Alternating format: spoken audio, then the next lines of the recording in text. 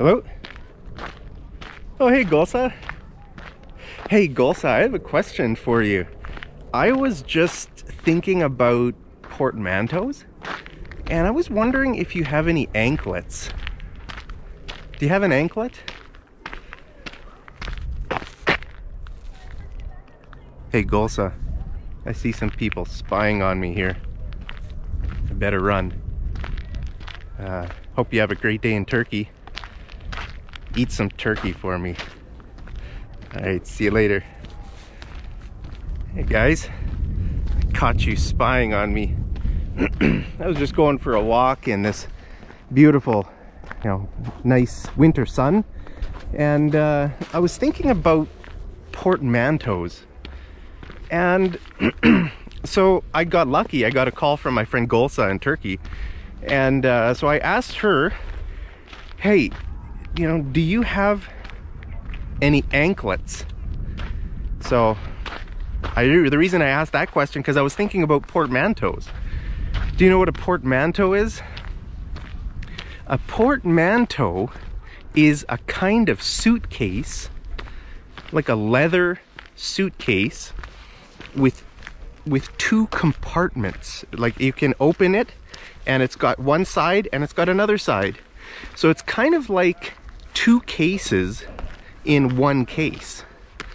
Or you can put some things in this side and some things in that side. Okay, so it's a kind of case, a leather case, with two compartments. All right, but it's one case, two compartments, okay? So the word portmanteau has another meaning as well. okay, and that meaning is a kind of word in English that is made up of two words. Okay, it's one word, but it's got two parts that are made from two different words. So the word anklet is a good example of this, okay? What is an anklet? An anklet is a kind of bracelet that some women wear around their ankle. Okay, so uh, think about this word anklet. Ankle and bracelet. It's a combination of both of those words. Okay, now your ankle, what is your ankle? Guys, look at this nice snowy canal here. Man, that is beautiful. Some snow. I think it snowed yesterday or snowed snowed recently. You can see some people walked over the canal in the snow there. So your ankle is a is the part where your foot connects to your leg. Okay, so look down at your feet. See that place where your foot connects to your leg? That area, that part of your foot is called the ankle. Okay, so uh, a lot of people out here, guys. Oh, hey, there's some people playing hockey over on the canal. Let's go look at some people playing hockey while I keep teaching you about portmanteaus. Okay. So portmanteau is a kind of word that that is made up of uh, two different words. Guys, should I walk across the canal?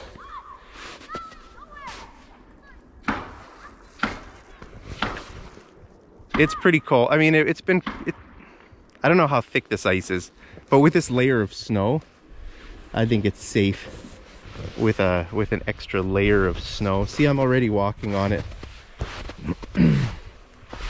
right? So I think this is the first time I've ever walked on this canal, guys. Wouldn't that be funny if the first time I walked on here, the ice broke and I went through the ice. Maybe that wouldn't be funny. Then you wouldn't have anybody to teach you about portmanteaus. Guys, I better leave the canal. It's too much of a risk. You need to learn this. So I can't, I have to protect myself as your teacher, right? Because if you don't learn about portmanteaus, your life is going to be so bad. All right, So, I'll protect myself and protect your English learning. All right, guys. So, um, a portmanteau is different than uh, a compound noun, a compound word. Right in English, we have many compound words, okay? Like doghouse. Doghouse is one word, okay? But it's it's has two words, dog and house, right? The problem is a portmanteau doesn't use both full words. Okay, a portmanteau is a blend of two words and it takes part of each word. So if you think about dog house, dog is word and house is a word. If we put them together, uh, it's one word, but that's not a portmanteau. Okay, that's called a compound word, compound noun. Okay, guys, look at this. They've almost like they've made a, they've made like a little maze here in the snow. And over there they're playing, not very many people, but let's, let's go over here, guys. I'll show you the ice rink that they made. So a place where people play hockey, the ice part where people play hockey is called a, a rink. You can call it a skating rink or a hockey rink or just a rink. Okay, look at that nice rink. Isn't that awesome? That is cool. All right, guys. So, do you understand the difference between a compound noun and a portmanteau? A portmanteau uses part of a word. So anklet, okay, like if we were to make a compound noun out of ankle bracelet, it would be ankle bracelet. We would use the full word. But with with portmanteaus, we usually just take one syllable from each word. Okay, I'll give you another example. Like Bollywood. Bollywood. What is Bollywood? Bollywood is the Indian film industry out of Bombay, India, okay? So the word Bollywood comes from the word Hollywood. It's Bombay plus Hollywood. Bollywood, okay? Or here's another word, uh, Brexit. Remember Brexit happened a few years ago? Brexit, what does that mean? What does it stand for? Britain, exit. Brexit. Although in that, I guess the full word exit is in the word, but uh, that's okay. It's not a compound noun, it's a, it's a portmanteau. Okay, bruh, we have bruh from Britain and exit from exit. Brexit. Guys, there's another rink over here. There's two rinks on it. Oh, that's another rink over there. Man, how many rinks are there here, guys? That is cool. Should come out here and play hockey sometime. I don't even have skates anymore. Maybe I should go buy some skates. All right, so do you get this idea? Two words, like no, one one word that is made up of parts of two words. So think about that suitcase. Portmanteau is a kind of leather case where it has two sides. It has two different compartments. Okay, so you can put your socks over here. You can put your underwear over there to separate them. And then you can go on a nice trip. You can come to Airdrie, Alberta and play play some uh, ice hockey on the rinks here. All right, so, so what are some other examples of portmanteaus?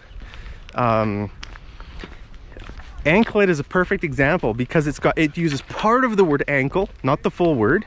Ank let from bracelet. Anklet. Do you have any anklets? I was asking my friend Golsa if she has any anklets. I'm not sure if she has any anklets. But some some women in some cultures wear anklets. Okay? It's just a nice it's like jewelry for your feet. Why do people put jewelry on their feet? so you got earrings, you got bracelets on your hand, you got necklace and anklets. It's kind of nice. I don't know. I think that'd look nice, an anklet. Wh what about me? Do you think an anklet would look good on me? Better not risk it. I don't wear any jewelry, guys. Look at that, I don't even have pierced ears. I don't wear a necklace. I don't wear... Just look at those birds. I thought they were real birds. They're not real birds, guys. They're fake birds. Look at that. Interesting. So, uh, don't worry. I won't buy any anklets. But let me know if you think I should get my ears pierced or wear a necklace or a nose ring. Ooh, should I get a nose ring, guys? Or should I get some plugs? Okay, if if if you know some men, it's very common for men in the west western world to not have earrings, but have plugs. Those are the holes in your earlobes, right? This is called your earlobe. And there's like a hole in the earlobe. It's like stretched. Why do people do this kind of stuff? Do they just wake up one morning and say, you know what? Today I want to put big holes in my ears and and so the the thing the ring that you put into the ear lobe is called a plug i think i don't know much about that culture i don't have any tattoos guys i don't have any piercings i don't have any jewelry i'm just a simple guy teaching you english all right so uh, let me know do you have plugs or do you have some kind of jewelry um, so anklet is a good example. Now I have a list on my phone of a whole bunch of these uh, portmanteaus, okay? So I'm just gonna pull out my phone and we're gonna go through some of these examples for you, okay? Just loading up my iPhone here. Oh, another one, actually, that I just think uh, can think uh, uh, off the top of my head is breathalyzer. Breathalyzer. Do you know what that is? Okay, a breathalyzer is um, it's a it's a device that the police use to see if you've been drinking too much okay so they test your blood alcohol level through your breath all right so um uh like they if if they stop you they might say blow into this breathalyzer so it's a thing it's a device you have to blow into and the device will say what your blood alcohol level is. And in in most countries they have laws that you cannot drive if your blood alcohol level is a certain I, I can't remember what it is here in Alberta. I think it's 0.05 percent. 0.05. That's somehow that's ringing a bell. I think it used to be 0.08 but then they they changed it they lowered it to 0.05 i think so i don't know um, but uh, it was kind of funny a few months ago uh, i went out with a friend for indian food my friend neville and uh, we had we ate indian food and then we wanted to keep talking to the restaurant was closing and so we needed to leave the restaurant so we went to tim hortons to grab uh, some drinks or donuts or something. And uh, on the way, so he was following me.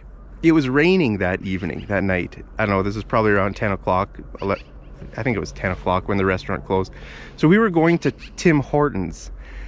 We were driving, it was raining, and there was a part of the road that had some construction. There were some pylons. You know, those orange things on the road are called pylons. And uh, it was raining and it was kind of hard to see where the road actually went. But I, I anyway, I got, I went there, I, I, I went through this, this, these pylons and then I got to Tim Hortons. But uh, my friend, now I can't remember if my friend Neville was in front of me or behind me. But anyway, he, he got, he got stopped by the police because they thought he had been drinking because he was kind of, he wasn't sure where the road went, it was kind of hard to see, right? Because it was raining, all the lights reflecting and these pylons. And so he kind of slowed down. He slowed down and was trying to see how, where to go. The cop, cop means police, right? The cop thought he maybe had been drinking, right? So he stopped him and he made him do a breathalyzer. so then I went, I got to Tim Hortons and I was wondering, where is, where is Neville? And uh, so Neville showed up and he said he had to blow into a breathalyzer. And, uh, you know, fortunately, he, I don't think he had been drinking. I, I had, I think I had been drinking. So I got lucky. I got lucky. I got, uh, I escaped. I escaped the policeman's trap. But I think the, the reason the police stopped him was because he slowed down pretty quick because he wasn't quite sure where the road went. Sometimes in construction zones where they have these pylons and if it's raining and the lights are kind of like you know reflecting off everywhere it's kind of confusing right? So it makes sense to slow down. Um i don't know why the police stopped him and not me. Anyway guys so um there's a little story for you about me and my friend neville um breathalyzer that's a, a portmanteau okay breath analyzer okay it's one word but it's made up of two parts okay breath analyzer Okay, so we don't say breath analyzer. This device is called a breathalyzer. A breathalyzer. Have you ever blown into a breathalyzer? I've gotten lucky my whole life. I've never been stopped for the police for, for that reason. Um, you know, I've never had to blow into a breathalyzer. I don't know what it's like. I don't know. I've never had that experience to blow into a breathalyzer. Um, so anyway, uh, yeah, so breath, it, it stands for breath analyzer, but it's, well, it doesn't stand for. Usually we use stand for me, to mean like an acronym, you know, like uh, TGIF. What does that stand for? Uh, thank God it's Friday, right? So usually with an acronym, we would say, what does that stand for? With a, with a portmanteau, we don't say, what does that stand for? But you could say that, it's fine. So, you know, I could say breathalyzer stands for breath analyzer, but we don't use the full words. Remember, these are just parts. Breath, I guess that is the full word. but the second word is just lyzer, breathalyzer, not breath analyzer. But that's what it means, breath analyzer. It analyzes your breath to see how much alcohol is in your body, right? All right, guys, let me go through this list here and I'll tell you some uh, some words. Okay, here's another one. Bromance. Bromance. Have you heard that word before? Bromance is uh, is a good good friendship between two men. Right? Two males. Uh, it's called a bromance. A platonic relationship. Okay. Platonic means um, there's no romance. No, no, there's no romance. Okay it's just platonic. It's like friends, right? So I could say with with my friend Neville, know, we have a bromance. Right? It just means that we're friends. Two men who are friends. You know, it's you know how girls you know how girls use the word girlfriend? If they say, oh, I'm going out with my girlfriends, they can say that. But for men, they don't say, I'm going out with my boyfriends. Right? Guys don't say that. So it's just funny how girls can call their women friends their girlfriends when there's no, when that, that's also platonic. Okay, platonic means there's no, no romance, no feelings of attraction. It's just friendship. Okay, so um, girls who call their girlfriends girlfriends, um, men don't do that. Men don't call their, they don't say I'm going out with my boyfriends tonight. I don't know, they just say I'm going out with my friends tonight, but uh, that friendship can be described as a bromance. A bromance, all right? So, uh, yeah, anyway, uh, that's that.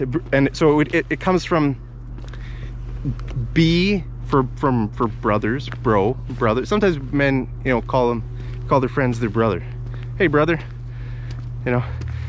So bro Mance, Mance from Romance, so B, Romance, I don't know. Anyway, guys, that's one example. Let me think, let me tell you another example.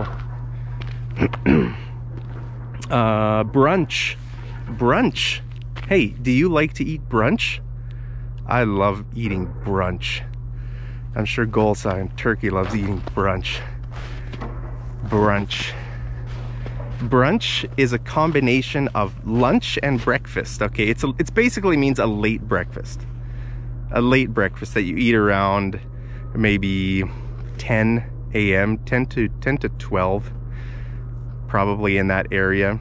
That's called brunch. If it's before 10 a.m., you'd call that breakfast. You just say I'm having a big breakfast. Because brunch is a big meal. Okay, usually, usually like brunch replaces both of those meals, breakfast and lunch. So if you eat brunch, that covers two meals. It, it two meals. But hey, it's two words, one word, covers two meals. it makes two meals into one meal, just like the word brunch takes two words and makes them into one word. Okay, brunch. So if you eat brunch, then you don't eat until supper. Okay, so you only eat two meals a day than if you eat brunch. Um, and brunch here in our culture is usually just breakfast food. It's breakfast food, but it's a big breakfast. You know, it's a big late breakfast. So a brunch wouldn't be like just eggs and toast. No, brunch has it has to do with the timing, but it also has to do with the size of the meal. Okay, so for brunch you might have you might have bacon, sausages, hash browns, pancakes, fruit, you know, coffee, tea. You, you got all that stuff. It's a big meal, okay? A big, big breakfast. That's called brunch. Big and late. Do you love brunch? I love brunch. brunch is a great meal. Whoever came up with that portmanteau was a genius. Brunch. Now, I've also heard the word lupper to, to mean the combination between lunch and supper. Supper is the evening meal, okay? A lot of people say dinner. In Canada, a lot of people call the evening meal supper. Okay, so lupper. Lupper would be a combination of lunch and supper. So maybe you'd eat lupper around, I don't know, 3 p.m. Be kind of weird. Most people don't eat lupper but a lot of people like brunch. So brunch is the is the good one. Brunch is the common one, the famous meal. Uh, okay, so what else do we have? Okay, so again, brunch is a combination of brr from breakfast and unch from lunch. Brr, unch, brunch. All right, uh, what else do we have? Oh, carjack, okay? If your car gets stolen, then your car got carjacked. Okay, so some people very bad people, car thieves. They're called carjacker. You can call them carjackers. Okay, so what is this? This is a port portmanteau. So what are the two words? Car, meaning car, and jack from hijack. Okay, so what does a what does the word hijack mean? Mean? Hijack means to take over a plane. Like you know hijackers they take over a plane and they fly the plane. It's not their plane but they take it by force. They're called hijackers. Hijackers okay? So carjackers. Carjackers are people who steal cars it's not good guys have you ever jacked a car i've never jacked a car or a plane thank goodness and i I never intend to hijack a plane or carjack a car. Right? So, uh, what other word here? Let me think. Uh, email. email, guys. So, email means, what does it mean? Let's see, this word is so common, we don't think about it as a portmanteau. That's the thing, portmanteaus are so common that we don't think of them as two different words. I mean, we don't think of them as a combination of two words. They're just one, it's one idea, one thing, like brunch. It's one thing. We don't think about where it came from. Uh, but uh, so with email, it stands for electronic mail. Electronic mail. It's not real mail, not like snail mail Okay, if you actually write someone a letter with your hand and you send them that letter in the mail, that's called snail mail because it goes slow. All right, it's two words, That's not, not a portmanteau. I don't think it's not a compound noun. It's two separate words, snail, mail. But if they were put together, then it would be a comp, I guess it could be a compound noun, snail mail. I think it's usually written as two separate words. Sometimes it's hard to know, right? Like um, dog house, that's one word. Firefighter is one word, okay? Firefighter, is firefighter, uh, is that a portmanteau? No, it's not. Because it's it uses the full words. Fire, fighter. If it were like fire eater, fire eater, then it, I guess then it would be a, a portmanteau. because you remember, both words cannot be full. When we're, when we're talking about portmanteaus, both words cannot be full words. If they're full words, it's a compound noun. But if one of the words or both of the words are somehow shortened uh, and squashed, like squashed together, then uh, it's uh, it's a portmanteau. Okay. So email, electronic mail. Did you know that? That's what email email means. Okay. Uh, let me look up my list here. fortnight. Okay, a fortnight is a period of time. It is it is 14 days. Well, actually 14 nights, right? So if a two two weeks, if you want to describe a two week period, you can call it a fortnight. Okay, that means 14 nights. It's a it's a portmanteau, okay? Fortnight. It's short for it's like it's a combination of 14 nights. Fortnight, right? So that's uh that's a it's a kind of an old-fashioned word. We don't use that word too often in English, but you could use it. You know, you could say I'm leaving for the Bahamas in a fortnight. Man, I wish I were leaving for the Bahamas in a fortnight. How long was your vacation? It was a fortnight. It means two weeks. Okay, a fortnight is two weeks. Where are you going to be in a fortnight? I wish I could leave for the Bahamas in a fortnight, guys. Uh, or what are the last word? Oh, three more words. Hangry. That's a good word. Hangry. Have you ever heard that? That's a, a portmanteau. See, a lot of these portmanteaus are playful. They're kind of where you're kind of playing around with the language, guys. You, you're kind of making a new word. You're taking two words, existing words, and you're kind of making a new word. It's kind of a playful thing, right? So instead of saying late breakfast, you say brunch. You're kind of having fun with the language, right? Whoever made that term, they were probably a fun person. They just kind of tried to play around with the words, right?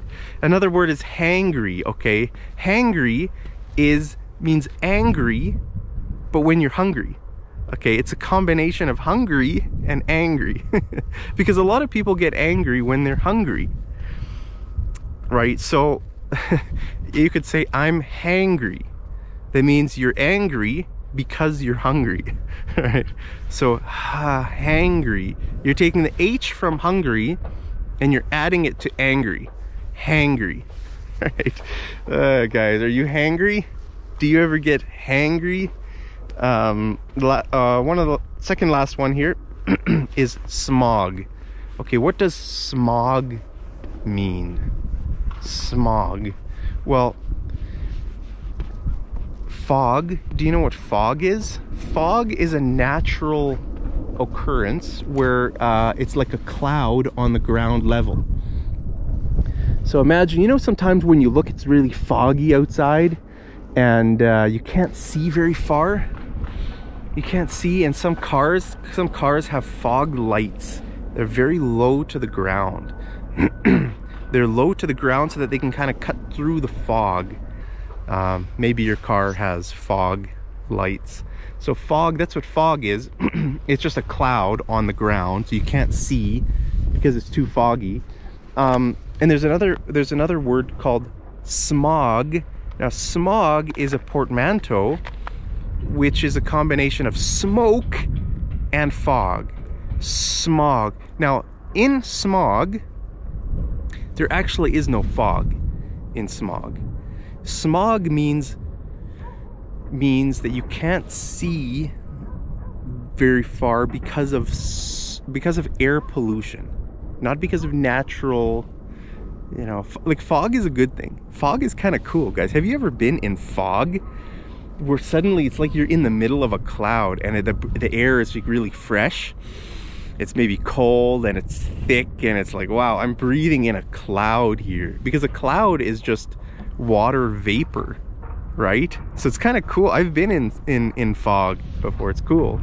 Um, but smog is a bad thing. Okay, smog means smoke and other air air pollution from vehicles and from just everything that's over like a city you know sometimes if you look at oh, in some cities have really bad smog you look you look out you can't even see the sun or you can't see the you can't see anything quite because it's not it's not fog it's smog right it's bad so you don't want to breathe in all that air pollution so that's that's a the word smog is a portmanteau combining the word smoke and fog. Smog. All right. All right, guys, what's the last one? Last one on our list here is spork. so again, this is a good way to, this is a good reminder about the kind of the, the playful aspect of this, of, of these words, okay? A spork is a combination of a, of a spoon and a fork. All right, so have you ever seen sporks before? sporks are weird. It's like a spoon with like a few little things at the end like a fork. Okay, so most sporks I think are plastic. Yeah, I don't know, maybe if you go to if you go to Costco or you go to some restaurant, some fast food restaurant, maybe they, they might give you a spork I don't know. I don't know what food. Like maybe if you're eating like a potato salad or a, uh, I don't know what. But anyway, I've seen sporks. I don't know what. I don't know who makes them or why they make sporks, but it's it's like it com it combines like two things, right? Imagine if you're eating soup. If you want to eat soup and you want to eat a salad, well, you like you need the fork part to stab the pieces of the salad but you need the spoon part to eat your soup. So instead of using two different utensils, you, you're only eating, you're using one, right? You're one thing. So you just, maybe the company wants to save money. So they'll just give you one spork instead of a spoon and a fork, right? So sp, spork, sp comes from spoon and ork from fork, spork. Have you ever used a spork before?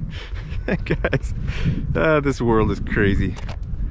I don't know whoever came up with that idea of a, a spork. Some people are behind me, guys. Well, anyway, I'm done. That's it for your portmanteaus, guys.